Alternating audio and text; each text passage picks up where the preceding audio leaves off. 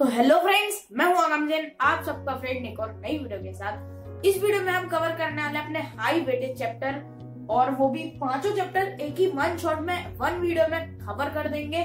और ये जो सेकंड चैप्टर है, हमारा फॉर्म्स ऑफ़ बिज़नेस ऑर्गेनाइजेशन ये बहुत बड़ा चैप्टर है। तो इसको वीडियो के लास्ट में कवर करते हैं। पहले ये चार चैप्टर को खत्म करते हैं। फ़र्स्ट है फंडामेंटल ऑफ़ बिज़नेस मतलब हमारे बिज़नेस का पहला चैप्टर अब शुरुआत से शुरुआत करते हैं इकोनॉमिक एक्टिविटी और नॉन इकोनॉमिक एक्टिविटी अब इकोनॉमिक एक्टिविटी वो हो जाती है जिससे हमें मॉनेटरी टर्म में कोई रिवॉर्ड मिलता हो। और नॉन इकोनॉमिक एक्टिविटी मतलब जिससे हमें साइकोलॉजिकल सेटिस्फेक्शन मिलता हो। इसके बाद आ जाता है, हमारे उद्देश्य आ जाते हैं बिज़नेस के मतलब बिज़नेस बिज़नेस के ऑब्जेक्टिव यार। हाँ तो होता है इकोनॉमिक ऑब्जेक्टिव सोशल ऑब्जेक्टिव और कौन सा ऑब्जेक्टिव पर ह्यूमन ऑब्जेक्टिव तो इकोनॉमिक ऑब्जेक्टिव कौन से होते हैं? सर्वाइवल ग्रोथ और प्रॉफिट अब बिज़नेस को ये तीनों चीज़ की ज़रूरत होती है। अब अगर हम बिज़नेस में टिके रहना है और लंबा खेलना है, लंबी पारी खेलनी है तो हमें कम से कम जिस कॉस्ट में हम सामान बना रहे हैं हमें उससे थोड़े से ज़्यादा कॉस्ट पे मतलब थोड़े से ज़्यादा प्राइस पे उसे बेचना पड़ेगा।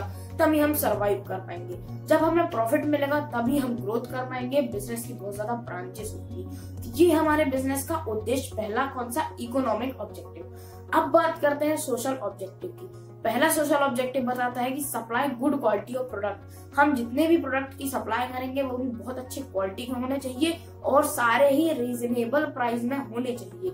ये नहीं कि कस्टमर उसे ले ही ना पाए।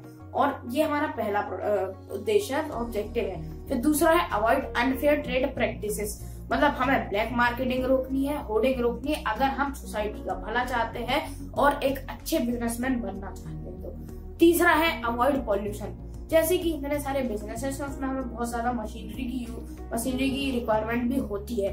बट हम मशीनरी इको फ्रेंडली लाए तो कैसा होगा? वो भी एक सोशल ऑब्जेक्टिव है। अदर देन अब बात करते हैं एम्प्लॉयमेंट जनरेशन की। एम्प्लॉयमेंट जनरेशन किससे क्या होगा? सोसाइटी में इकोनॉमिक कंडीशन भी इम्प्रूव होगी, क्योंकि हम किसी को एम्प्लॉय कर रहे हैं। और फिर हमारे भी बिज़नेस में वो एम्प्लॉय काम आएगा। देन अब बात करते हैं सोशल सर्विस की, जैसे डोनेशन करना चैरिटी में दान देना ऑब्जेक्टिव भी खत्म। अब बात करते हैं किसकी? इंडस्ट्री की बात कर लेते हैं। इंडस्ट्री तीन प्रकार की होती है प्राइमरी सेकेंडरी और टर्शरी टर्शरी को जरा सा भी साइड में रख देते हैं। प्राइमरी कौन सी होती है? प्राइमरी में आ जाता है एक्सट्रैक्टिव इंडस्ट्री जेनेटिक इंडस्ट्री अब एक्सट्रैक्टिव इंडस्ट्री में कौन कौन सी इंडस्ट्री आती है? जैसे कि माइनिंग करना और टिम्बर फॉरेस्ट ये सब पर जेनेटिक इंडस्ट्री में कौन सी इंडस्ट्री आती है?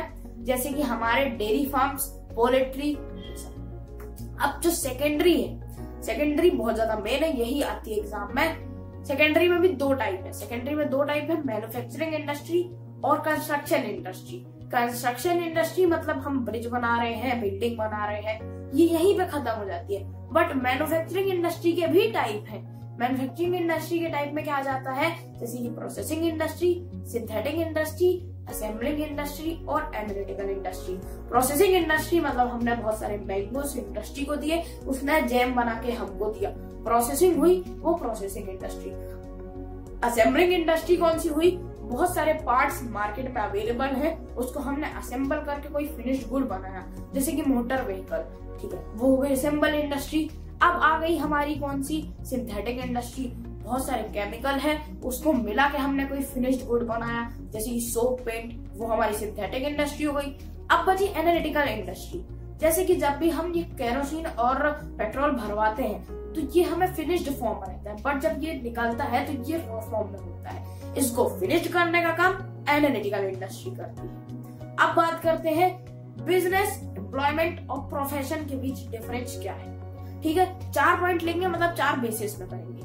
इसकी कमेंसमेंट क्या है? मतलब ये चालू कैसे होते हैं? बिज़नेस को चालू करना बहुत आसान है, बस ऑन्टरप्रेन्योर का डिसीज़न लेने का टाइम लगेगा। फिर प्रोफेशन को चालू करने में उसकी क्वालिफिकेशन कंप्लीट होने के बाद ही वो चालू कर सकता है।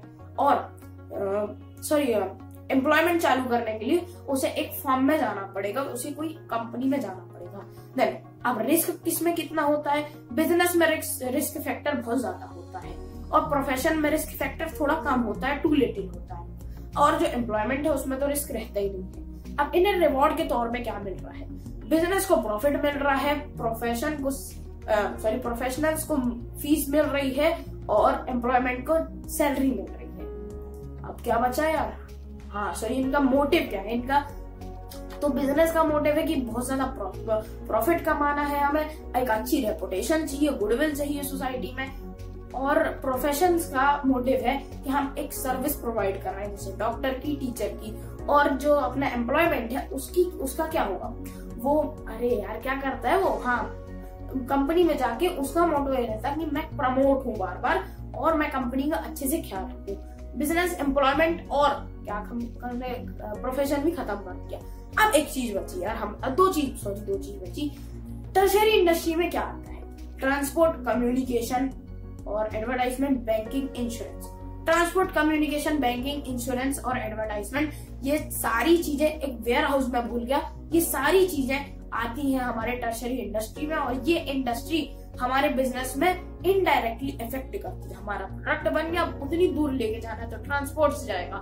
हमें कोई लेटर मंगाना है तो हमें कम्युनिकेशन सर्विस जाएगा। और हमें कुछ बात करनी है कम्युनिकेशन प्रोडक्ट के बारे में, कुछ नॉलेज देना है तो एडवर्टाइजमेंट प्रोडक्ट का इंश्योरेंस कराना है इंश्योरेंस प्रोडक्ट बन ही नहीं रहा है, पैसा नहीं है तो बैंक लोन देगा। और प्रोडक्ट बनने के बाद सेफ़ कहाँ रहेगा? वेयर हाउस में।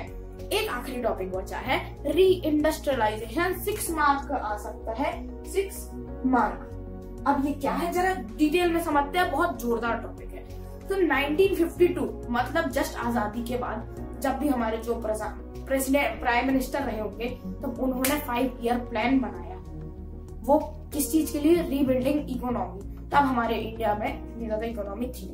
बट वो फाइव ईयर प्लान वो सक्सेसफुल नहीं रहा और इंडिया की इकोनॉमी उतनी अच्छी बिल्ड नहीं हो फिर क्या हुआ? फिर इन्होंने सोचा कि हम 1991 में लिबरलाइजेशन खोल देते हैं। मतलब बाहर का देश भी आके हमारी कंट्री में व्यापार कर सकता है। फिर जब इन्होंने लिबरलाइजेशन खोला 1991 में, तभी इंडिया इंडिया बन गया fastest growing economy in the world world की सबसे फास्टेस्ट ग्रोइंग इकोनॉमी बना इंडिया उसके बाद क्या हुआ? जब बहुत ज़्यादा बाहर की कंपनीज़ आने लगी इंडिया में तो हमारे मोदी जी को सूझा। 2014 में 25 सितंबर के दिन मोदी जी ने मेक इन इंडिया स्कीम का ऐलान किया। किस लिए? बहुत सारे जॉब क्रिएशन हो और जो लोग बहुत ज़्यादा स्किलफुल है। उनका स्किल एनहेंसमेंट हो, बहुत सारे लोगों को एम्प्लॉयमेंट मिले, ये सब। फ़र्स्ट चैप्टर टोटली खत्म। अब बात करते हैं जी स्मॉल बिज़नेस एंड एंटरप्राइज के बारे में। स्मॉल बिज़नेस इसके बात करते हैं? जरा एंटरप्राइज को पढ़ लेते हैं। अब एंटरप्राइज क्या है? जब एक पर्सन किसी चीज़ को बिज़नेस को चलाता है मतलब ऑन्टरप्रन्योर जिस बिज़नेस को चलाता है, जिस फॉर्म को चलाता है, उसे बोलते हैं एंटरप्राइज उससे जो आउटकम निकल के आता है, उसे बोलते हैं एंटरप्राइज अब हमें एंटरप्रेन्योर्स की नीड क्यों है हमारे इंडिया को? ये भी सिक्स मार्क करना आ सकता है. ग्रोइंग ऑफ़ इकोनॉमी जितनी ज़्यादा एंटरप्रेन्योर्स होंगे, उतना का प्रोडक्ट होगा इंडिया में. उतने ज़्यादा बहुत सारे प्रोडक्ट्स होंगे, जिससे जीडीपी भी इंक्रीज होगी। और हमारे इंडिया मतलब हमारी कंट्री के प्रॉफिट्स भी उतने ही ज़्यादा इंक्रीज होंगे। हमारे पास फॉरेन एक्सचेंज आएगा। फॉरेन एक्सचेंज है वो अलग की बात है। अगर हम इंटरनेशनल ट्रेड करते हैं तो एम्प्लॉयमेंट सबसे अच्छी चीज़ है। रीजनल बैलेंसमेंट होगा। रीजनल इम्बेलेंसमेंट हाँ तो ठीक है। और ये सब हो गया उसके बाद अब जो हम ऑन्टरप्रनर बनने की हमारी प्रोसेस क्या है? पहले तो हमें करना है सेल्फ आइडेंटिफिकेशन क्या हम जॉब के लिए बने हैं? क्या हम बिज़नेस के लिए बने हैं? हमने ये कर लिया, उसके बाद हमें अपॉर्चुनिटी ढूंढनी है, किस एरिया में हम वर्क करेंगे। फिर हमें क्या करनी है? उस आइडिया को एवोल्यूट करना है। बिल्कुल जोरदार प्लान बना लेना है, कागज़ में लिख के। फिर उसकी प्लानिंग करनी है, बहुत अच्छे से। फिर उसके बाद क्या करना है यार? रेज अप कैपिटल कैपिटल को उठाना है, कहाँ से उठाओगे? वो भी इसी चैप्टर में अभी बात करते हैं। उसके बाद क्या आएगा? हमने स्टार्टअप कर लिया। स्टार्टअप कर लिया, वो सबसे बहुत कठिन स्टेप है स्टार्टअप करना। उसके बाद है ग्रोइंग करना, उससे भी कठिन। और ग्रो करने के बाद हम उसको हार्वेस्ट कर देते हैं। मतलब इतना सक्सेसफुल स्टार्टअप को हमने किसी दूसरे के हाथों बेच दिया, जिससे हमें बहुत मोटी रकम मिल गई। अब बात करते हैं कि हमारे स्टार्टअप की क्राइटेरिया क्या होना चाहिए। स्टार्टअप पाँच साल पहले खुला होना चाहिए, उसका टर्नओवर 25 करोड़ से ज़्यादा नहीं होना चाहिए। और वो किसी भी कंपनी से स्प्लिट नहीं होना चाहिए। मतलब निकला हुआ नहीं होना चाहिए। अब स्टार्टअप इंडिया स्कीम हमारे मोदी जी की देन है और sorry make in India scheme भी मोदी जी की देन है और स्टार्टअप इंडिया स्कीम भी मोदी जी की देन है। ये 15 अगस्त को हुई थी, वो 25 सितंबर को हुई थी। अब स्टार्टअप के लिए हम कैपिटल कहाँ से उठाएँगे? पहला सेल्फ फंडिंग मतलब बूट स्टार्टअप हमारी खुद की सेविंग से हमारी खुद की फैमिली से जो हम अपने जेब से पैसे लगा रहे हैं, उसे बोलते हैं सेल्फ फंडिंग स्टार्टअप और फिर आ जाता है क्राउड फंडिंग ये बहुत ज़बरदस्त तरीका है, आप सब भी कर सकते हैं। क्या होता है, हम एक वेबसाइट होती है, एक ऐप होता है, हम उसमें अपना स्टार्टअप प्लान लिखते हैं। हम क्या करने वाले हैं, कौन सा प्रोडक्ट बनाएँगे, क्या सर्विस देंगे। जिसको भी उसमें इंटरेस्ट होता है, वो उसके बारे में पूछता है मेल करता है और उसमें पैसे डोनेट करता है, जिस वजह से एक फंडिंग इसे भी कहा जाता है। बहुत जोरदार तरीका है, जब से ये इंटरनेट आया है। फिर आ जाता है वेंचर कैपिटल वेंचर कैपिटल और एंजल इन्वेस्टर को अगर एक साथ समझे तो बहुत मज़ा आएगा। एंजल इन्वेस्टर एक पर्टिकुलर इंडिविजुअल है, जो अपनी जेब से पैसा लगाता है। बट वेंचर कैपिटल पूरी एक कंपनी है या फिर एक कह सकते हैं पूरी एक फर्म है, जो हमें पैसे दे रही है कि आप लीजिए, लगाइए, उसके बाद जो प्रॉफिट मिलेगा वो हमको छोड़ जाएगा ठीक है, फिर बैंक बैंक तो है ही बैंक से लोन मिलते हैं। अब क्या आता है? मोदी जी ने थोड़ा और इजी कर दिया है। मोदी जी ने क्या किया है? मोदी जी ने government offered government startup India scheme में फंड भी ऑफ़र करने की स्कीम निकाली है। अब उसमें कुछ कुछ स्टेट है, जैसे राजस्थान है महाराष्ट्र है, केरला है, और कुछ नेशनल फंड्स है, जिसमें एक बहुत पॉपुलर फंड है M U D R Z मुद्रास। बहुत जोरदार फंड है, इसके बारे में डिटेल वीडियो बनाते हैं। उसके बाद बात करते हैं। अब हम चलो यार, ये तो हो गया एंटरप्रेन्योर्स वाला। अब स्मॉल बिज़नेस की बात करते हैं। स्मॉल बिज़नेस वो होते हैं जिसमें हम अभी तो 25 पहले 25 लाख की लिमिट है थोड़ी और बढ़ गई है। और हम 50 वर्कर तब यूज़ करेंगे जब हम बहुत सारे इक्विपमेंट का यूज़ कर रहे हैं। और हम सौ वर्कर तब यूज़ करेंगे जब हम इक्विपमेंट का यूज़ नहीं कर रहे हैं। स्मॉल बिज़नेस को साइड में अब बात करते हैं इसके रोल के बारे में। इसका रोल क्या है रूरल इंडिया में? हमारे इंडिया के डेवलपमेंट में। इंडिया के डेवलपमेंट में इसका रोल है। ये एम्प्लॉयमेंट दिया है इसने स्मॉल बिज़नेस ने। इसने क्या? हमारी आउटपुट जनरेशन की। आउटपुट जनरेशन मतलब 45 परसेंट फोर्टी परसेंट सबसे ज़्यादा जो एक्सपोर्ट होता है वो स्मॉल बिज़नेस करती है। स्मॉल बिज़नेस को भी सशक्त नमन हमारा। सॉरी और फिर ये रीजनल बैलेंसमेंट भी करते हैं। जिस मान लो, अब जो स्मॉल बिज़नेस उनको तो बहुत भारी टेक्नोलॉजी की ज़रूरत है नहीं तो वो कहा अपनी फैक्ट्री लगाएँगे अपने रूरल एरिया में? जिससे रूरल एरिया और अर्बन एरिया बैलेंस में चलेंगे। ठीक है? अब जो स्मॉल बिज़नेस है, उनका रोल क्या है? रूरल एरिया उन्होंने आर्टिस्टिक और क्रिएटिव सेंस को भी बहुत ज़्यादा प्रेफरेंस किया है। एग्ज़ाम्पल लें तो बस्तर आर्ट्स मंडला आर्ट्स इसके बारे में गूगल में सर्च कर सकते हैं आप। जब से ये इंटरनेट का जमाना आया है ऑन्टरप्रन्योर्स का जमाना आया है, तब से आर्ट्स बहुत ज़्यादा पॉपुलर हो रहा है। मोबिलाइजेशन ऑफ़ लोकल रिसोर्सेस उस गाँव में जिस जगह पे स्मॉल बिज़नेस आ जाता है, वहाँ की इकोनॉमिक कंडीशन इंप्रूव हो जाती है एम्प्लॉयमेंट जनरेशन हो जाता है। ये सब देन है हमारे इसमें स्मॉल बिज़नेस की। अब आईपीआर क्या यार? टॉपिक बदल दिया। Intellectual property right copyright trademark और पेटेंट कॉपीराइट मतलब हम कोई आर्ट वाली चीज़ कर रहे हैं, गाना गा रहे हैं वीडियो बना रहे हैं, उसको किसी ने कॉपी कर रहा है कॉपी कर लिया, हम उसको बोल देंगे जो हम उस पर चार्ज लगाएँगे कॉपीराइट अब हमने कोई प्रोसेस ढूंढ ली, कोई मेथड ढूंढ लिया तो हमने उसको जो करवा दिया मतलब अनोखा मेथड ढूंढ लिया, हम उसको पेटेंट करवा देंगे। है ना? मेथड्स पे पेटेंट लगेगा आर्टिस्टिक चीज़ों पे कॉपीराइट लगेगा। अब बात करते हैं कंपनी के सिंबल की। कंपनी को क्या रिप्रेजेंट करता है? कंपनी को रिप्रेजेंट करता है ट्रेडमार्क ट्रेडमार्क जैसे नाइकी का है। मज़ा आ जाता है ना, बस। नाइकी का मतलब राइट थोड़ी होता है यार। बस बना दिया उसने। ठीक है। अब उसके बाद क्या बात करते हैं? गवर्नमेंट ने क्या क्या इंसेंटिव दिए हैं स्मॉल बिजनेसेस को? गवर्नमेंट कहती है, अगर आपका बिज़नेस में पानी का ज़्यादा यूजेस होता है तो हमको हम आपको 50 परसेंट ऑफ़ दे देंगे।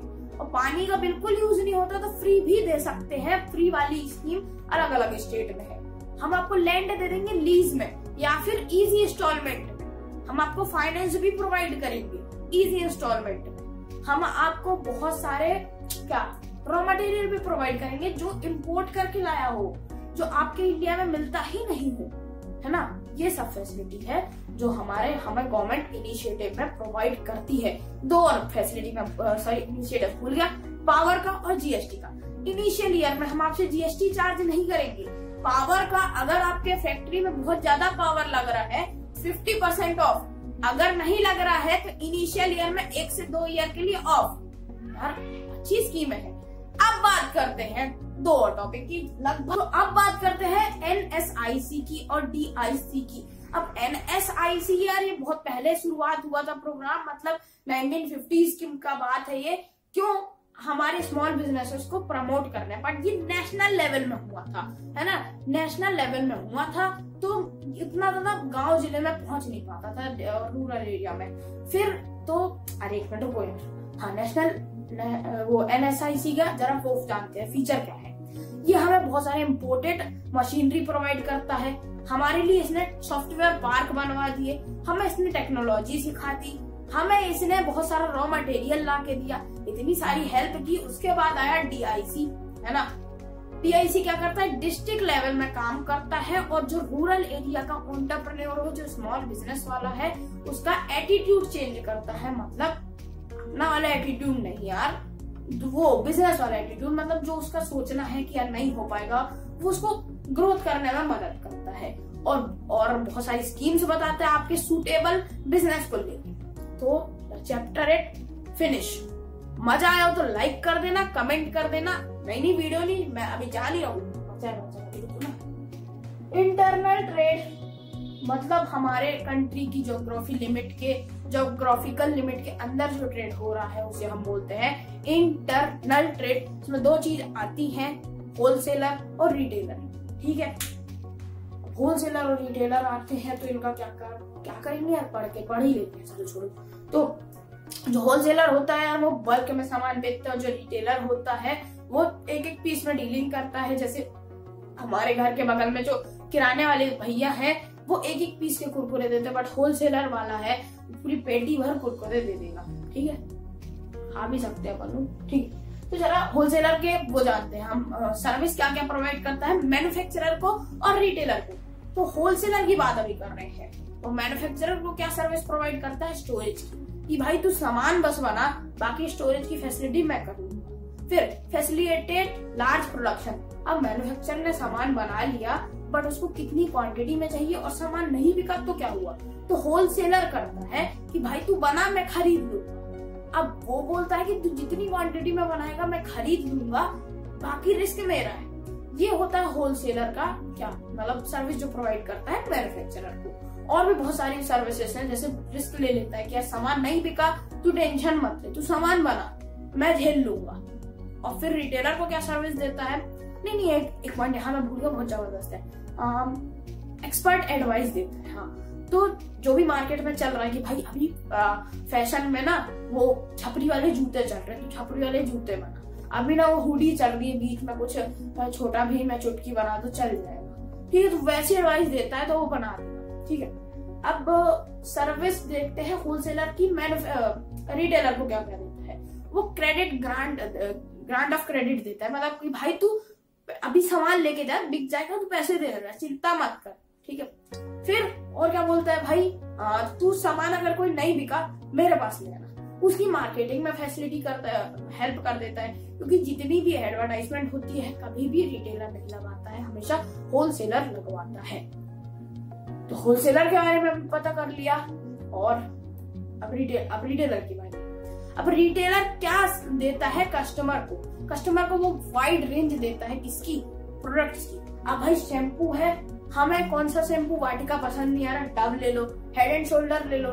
अरे भाई, बहुत वेराइटी तुम देख ले। ठीक है? फिर और क्या देता है? क्वालिटी प्रोडक्ट देता है। बहुत सारे उसके पास क्वालिटी के प्रोडक्ट होंगे। भाई, तेरे को दो रुपए वाली चॉकलेट अच्छी नहीं लग रही तो अस्सी रुपए वाली डेरी मिल्क सिल्क ले ले। है ना? और एकदम पर्सनल सेलिंग करते हैं। देखो भाई आप ना अगर डब का शैम्पू लोगे ना तो यार ये आपके बाल खराब कर देगा। आप ना इस कंपनी का ये वाला शैम्पू लो। ये बहुत जोरदार है और अनेक तरीके से बनता है, मैं खुद जाके देख के मतलब बातों में, बातें देख रहे हैं, मीठी मीठी बातें, ठीक है? ये काम होता है हो रिटेलर का कस्टमर के लिए। पर रिटेलर आप कौन सी सर्विस प्रोवाइड करता है? होलसेलर ये जाना चाहते होलसेलर को ही तो वो देता है मार्केट से कौन जुड़ा है रिटेलर अब जब उससे मार्केट से उड़ती उड़ती खबर लगी रिटेलर को, फिर रिटेलर ने दी होलसेलर को, तब तो होलसेलर मैन्युफैक्चर को देगा ना? तो यही बताता है उस एडवर्टाइजमेंट के बारे में मतलब फ़ैशन के बारे में टेस्ट के बारे में प्रेफरेंस के बारे में।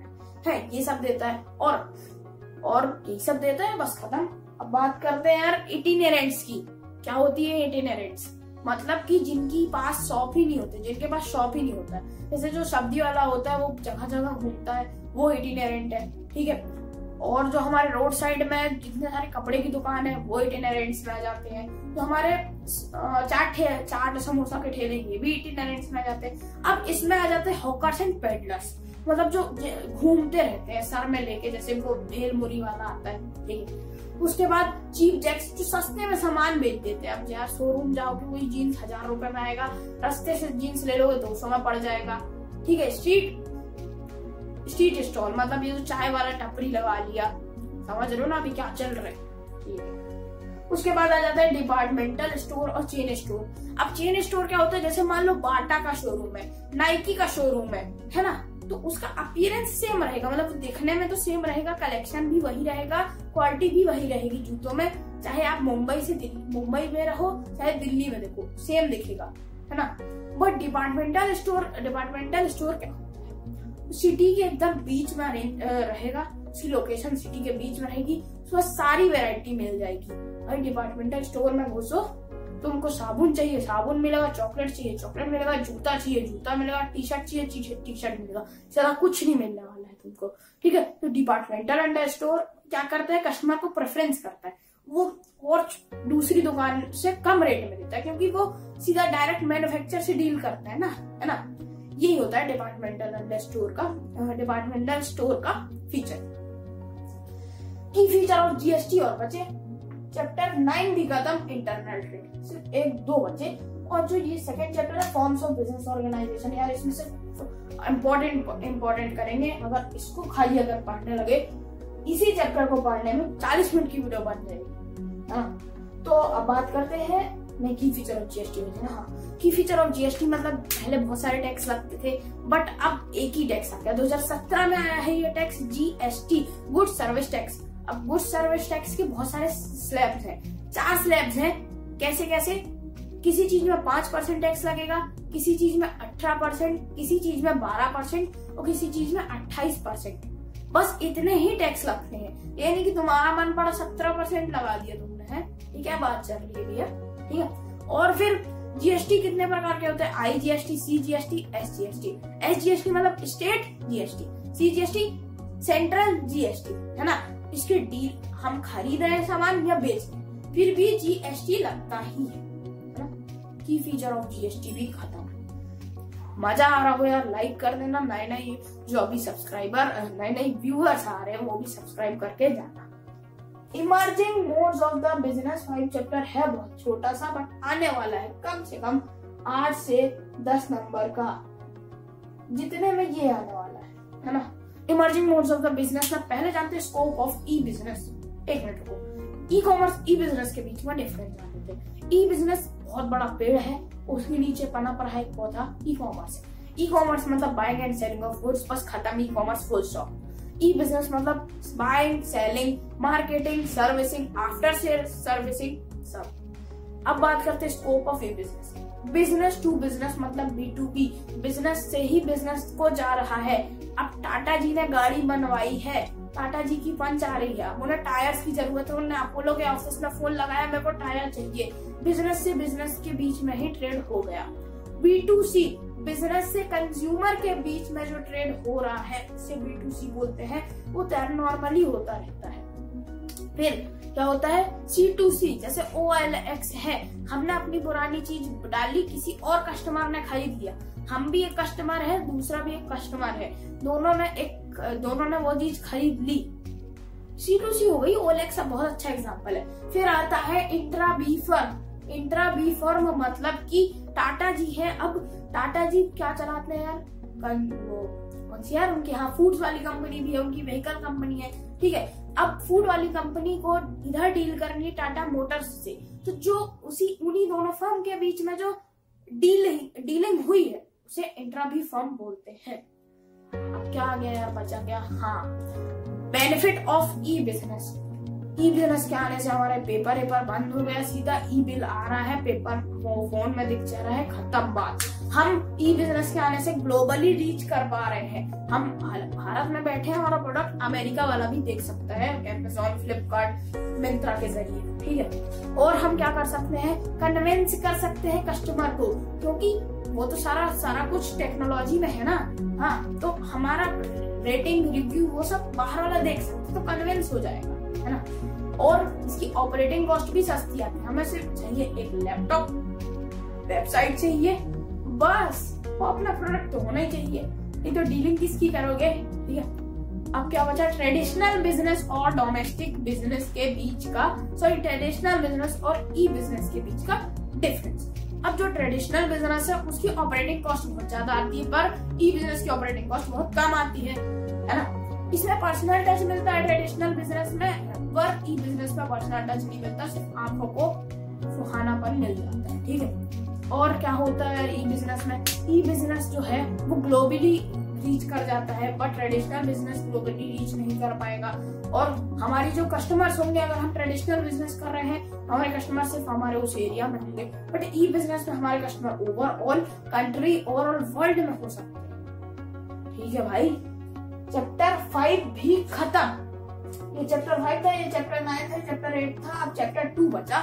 इंपॉर्टेंट चीज़ कर लेते हैं यार, बहुत इंपॉर्टेंट नहीं तो बहुत ज़्यादा लंबी हो जाएगी। ठीक है? चैप्टर टू मतलब इसमें इंपॉर्टेंट है पार्टनरशिप और पार्टनरशिप के type choice of business organisation choice of form of business organisation sorry हाँ। फिर पार्टनरशिप की बात करते हैं पार्टनरशिप क्या है? बहुत सारे लोग आके एक कंपनी बनाते एक फर्म बनाते एक ऑर्गेनाइजेशन बनाते हैं, उसे बोलते हैं पार्टनरशिप मेरिट डिमेरिट क्या होते हैं, जान लेते हैं. मेरिट में आ जाता है रिस्क शेयरिंग ना? बहुत सारे पार्टनर है तो रिस्क शेयर हो जाता है. और क्या होता है यार? यहाँ पे हम कंटिन्यूटी होती है. एक पार्टनर की तबीयत खराब हुई है लूज मोशन लगने लगे तो दूसरा पार्टनर भी आके संभाल लेगा, है ना? इसमें और क्या होता है? मोर फंड्स होते हैं। इतने सारे पार्टनर्स है तो सबने थोड़ा थोड़ा कंट्रीब्यूट करके बहुत बड़ा फंड तैयार कर लिया है। है ना? इजी टू फॉर्म होता है रजिस्ट्रेशन की, इसमें ज़रूरत नहीं पड़ती है। आप डीमेरिट जानते हैं। अनलिमिटेड लाइबिलिटी होती है सारे पार्टनर्स की। और लैक ऑफ़ कंटिन्यूटी अब मेरिट में तो कंटिन्यूटी थी नहीं यार, दुनिया बड़ी जालिम है। लैक ऑफ़ कंटिन्यूटी में क्या होता है? किसी भी एक पार्टनर को हार्ट अटैक मर गया या तबीयत खराब है तो दूसरे पार्टनर बोल देते बंद करो, अब ये फॉर्म हम जाते हैं. रिस्क ऑफ़ म्यूचुअल एजेंसी और सीक्रेसी का वो होता है क्या इशू कि वो बहुत सारे पार्टनर है किसी कहीं से भी बात लीक हो सकती है। पब्लिक का इनके ऊपर इंटरेस्ट कम होता है, क्योंकि इन ये तो रजिस्टर्ड ही नहीं है तो पब्लिक इंटरेस्ट क्यों करेगी इन पे, है ना? पार्टनरशिप के मैरिड डिमेरिट खत्म। अब पार्टनर कितने टाइप के होते हैं? चार टाइप के जी। एक्टिव पार्टनर स्लीपिंग पार्टनर और सीक्रेट पार्टनर नॉमिनल पार्टनर ठीक है? एक्टिव पार्टनर वो पार्टनर होता है जिसकी पार्टिसिपेशन भी हो, जो पैसा भी लगा रहा हो रिस्क भी उठा रहा हो, पैसा कमा भी रहा हो लाइबिलिटी भी अनलिमिटेड हो। पर जो सीक्रेट पार्टनर होता है, वो पैसा लगा रहा है पार्टिसिपेट भी कर रहा है लाइबिलिटी भी अनलिमिटेड है उसकी, है ना? और जो स्लीपिंग पार्टनर होता है, वो बहुत जोरदार होता है, अपन उसे वही करना है ना? अपन स्लीपिंग पार्टनर ही बनेंगे। वो पैसा लगा रहा है, वो प्रॉफिट ले रहा है, वो रिस्क भी ले रहा है, पर पार्टिसिपेट नहीं कर रहा है। जी, बहुत जोरदार। फिर आ जाता है नॉमिनल पार्टनर नॉमिनल पार्टनर में कौन होता है यार? नॉमिनल पार्टनर कुछ नहीं करता है, बस उसकी लाइबिलिटी अनलिमिटेड होती है। ठीक है? समझ आ गया, मज़ा आ गया। अब पार्टनरशिप कितने टाइप की होती है? एक होती है फिक्स्ड पीरियड एक होती है पर्टिकुलर एक ऐसी होती है पर्टिकुलर क्या होती है? फिक्स्ड पीरियड क्या होती है? मान लो यार हमने सोचा कि तीन साल की हम पार्टनरशिप करेंगे तो तीन साल खत्म होते अपने आप वो खत्म हो जाएगी पार्टनरशिप फिर पर्टिकुलर पार्टनरशिप पर्टिकुलर पार्टनरशिप मतलब हमारा क्या? क्या? हा? मतलब कि हमारा कोई ब्रिज ब्रिज बन रहा है, हमने कोई बिल्डिंग बनाने का ठेका लिया, हम सब साथ में है, हमारा बिल्डिंग बन गया तो हमारी पार्टनरशिप भी खत्म।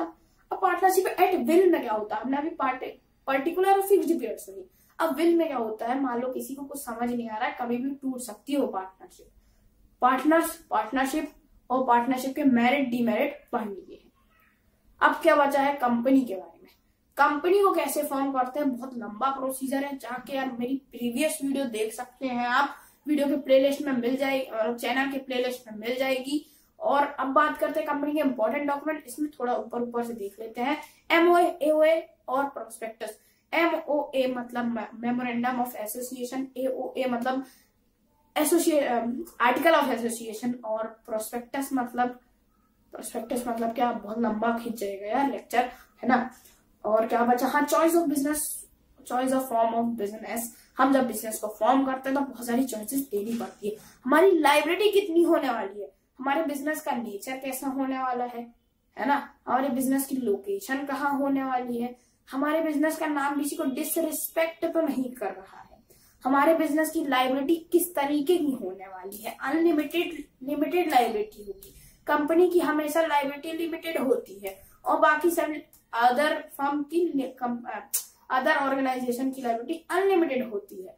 है ना? इसको चलाएगा कौन? बोर्ड ऑफ़ डायरेक्टर है, हम खुद ही चला लेंगे। सब होता है यार। मज़ा आया तो लाइक करना चैनल को सब्सक्राइब करना। इसके बिना जाना मत। चलो, चले जाओ। ठीक है यार, मज़ा आया हो तो लाइक कर लेना। नहीं बार बोलूँगा। चलो बाय बाय मिलते हैं अगली वीडियो में।